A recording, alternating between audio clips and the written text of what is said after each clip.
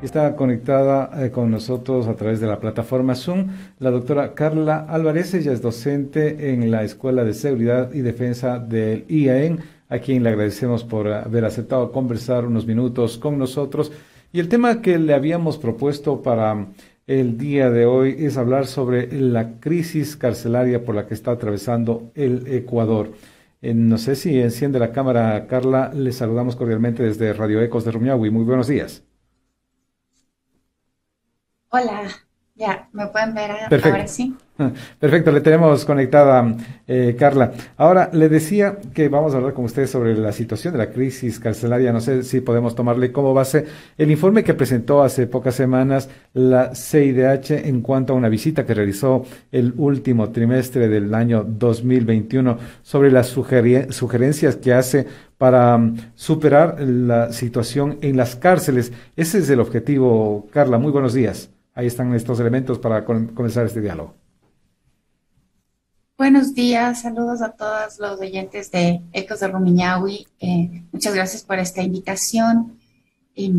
bueno, respecto a su pregunta, tengo para decirle que la CIDH fue bastante contundente en su informe. Yo creo que tuvo un informe bastante con una mirada profunda sobre lo que ocurre en el Ecuador. Habló mucho y de manera fuerte, contundente sobre la responsabilidad estatal frente a la crisis carcelaria. Habló sobre la debilidad institucional que tenemos, la desestructuración de las instituciones del Estado, lo que ha generado la violencia en las cárceles. Habló ya de la impunidad, de que no hay, no hay justicia, no se ha hecho investigaciones sobre las masacres carcelarias anteriores, tampoco se ha hecho eh, investigación sobre las... Ah, sobre los responsables de la corrupción, de meter armas dentro de la cárcel, de meter municiones, de meter explosivos. De eso tampoco hay ni una sola responsabilidad. Hay mucha vulneración de derechos para los presos y eso evidentemente genera una explosión de violencia dentro de las cárceles, que ya la hemos vivido, ¿no? Entonces, eh, creo que ha sido muy reciente lo, el informe de la CIDH, porque es de finales de febrero, pero ha sido contundente y nos dice algo que todos los ecuatorianos sabíamos. No se están tomando las acciones necesarias.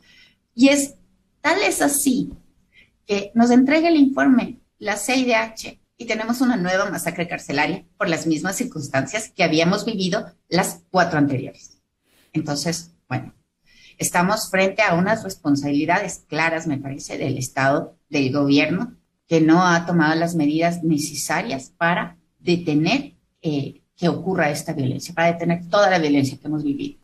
Habrá que investigar, Carla, también qué es lo que ha pasado en la cantidad de emergencias decretadas de la situación carcelaria en la que se ha eh, empleado recursos económicos, en la que se ha hecho varias planificaciones alrededor de estas emergencias. ¿Qué mismo pasó? Porque prácticamente una emergencia es para tratar de solucionar inmediatamente el sistema carcelario. Es que yo creería que estos estados de excepción, eh, la declaratoria de emergencia, no han tenido, no han, no han servido de nada. No tenemos resultados. De hecho, mire usted que nosotros entre el 2021 y el 2022 en las cárceles tenemos más de un muerto diario. Esto quiere decir que nosotros, nosotros tenemos más muertes, más muertos en la cárcel, solo en la cárcel, que en un año que los muertos que hay en Ucrania por una invasión de Rusia.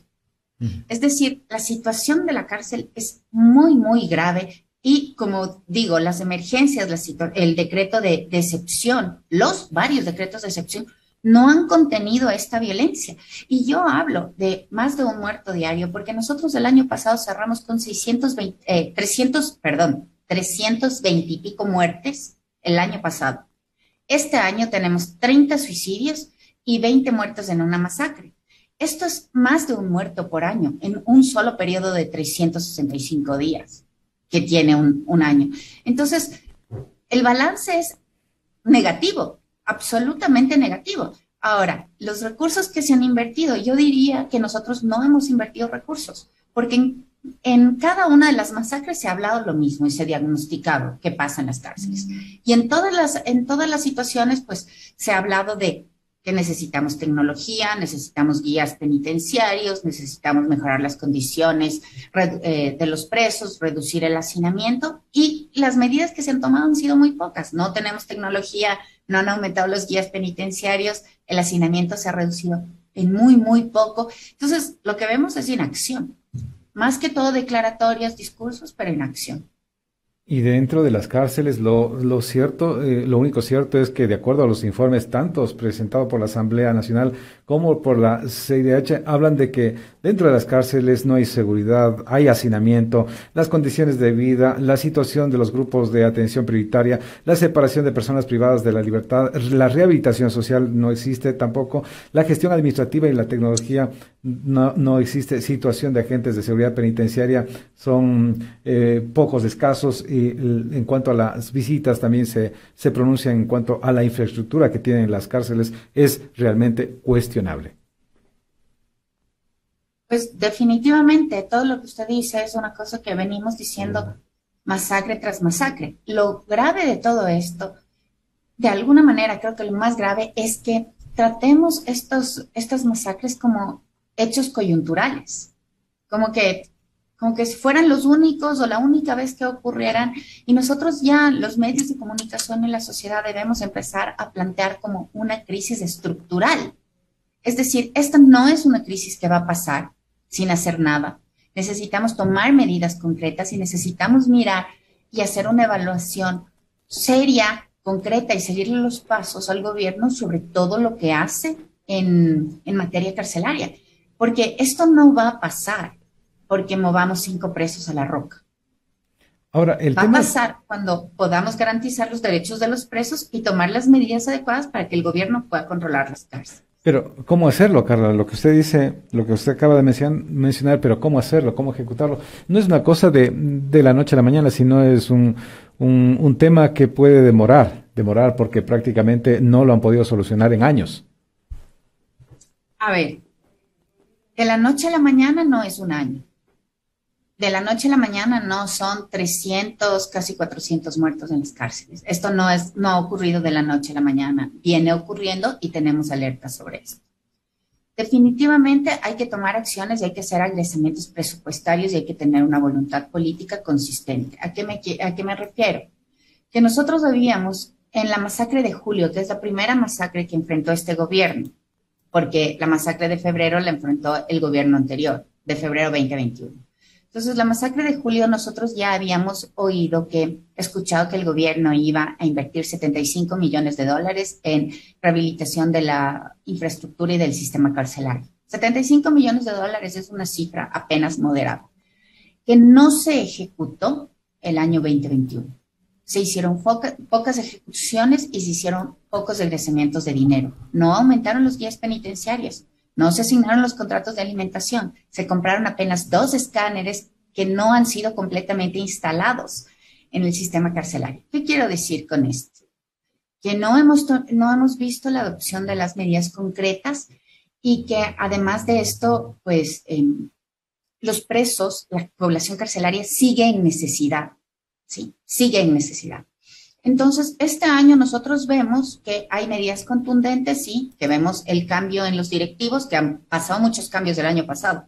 Este año hay un nuevo cambio en los directivos del SNAI, en el Ministerio de Gobierno, etcétera, y vemos que hay un ofrecimiento de 1.200 millones. la pregunta es, ¿los van a gastar? ¿Cómo los van a gastar? Porque el año pasado no pudieron con 75 millones. Entonces nosotros debemos hacer como ciudadanía y los medios de comunicación un seguimiento a cuál es la política carcelaria, porque estos no son eventos coyunturales, esto es una crisis estructural.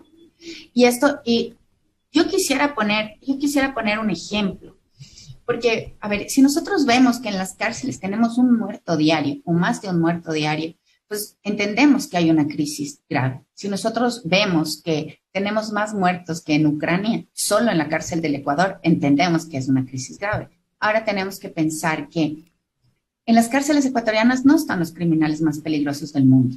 Hay otras cárceles de otros países que tienen terroristas internacionales. Esto lo he comentado en otros medios de, comunicación también. Hay terroristas internacionales con financiamiento internacional. y los gobiernos que tienen apresados a sus terroristas no han vivido las crisis carcelarias que nosotros tenemos tan recurrentes.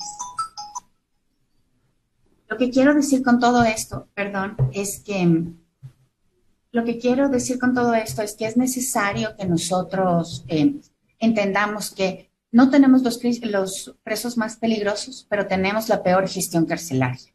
Y esto viene ocurriendo ya desde hace más de un año. Es necesario que que el gobierno y el Estado hagan mea culpas, que hagan ingresamientos económicos necesarios. Es, es, importante también que haya estabilidad institucional, que las, eh, que las cabezas de las instituciones tengan una estabilidad para que puedan manejar, eh, manejar eh, planes de mediano y largo plazo